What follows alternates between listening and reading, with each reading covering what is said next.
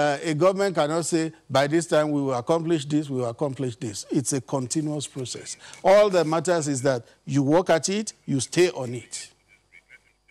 Well, uh, you said that some, there's some variables that are not in the control of government. I believe that's the context you were speaking. So help Nigerians understand, what are those variables that are out of your hand?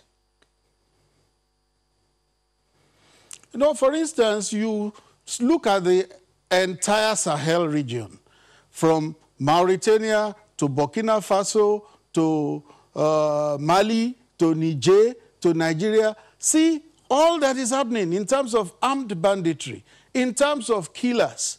Many times the president has explained these things, that a lot of the people that Gaddafi used to entrench himself in government for over 42 years were taught nothing but to shoot and kill.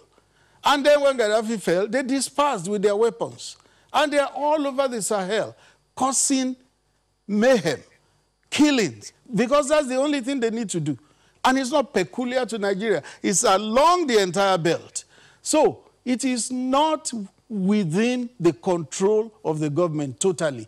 And it is not peculiar to Nigeria alone. Small arms are everywhere, everywhere in this country, small arms. How do you begin to mop up those small arms?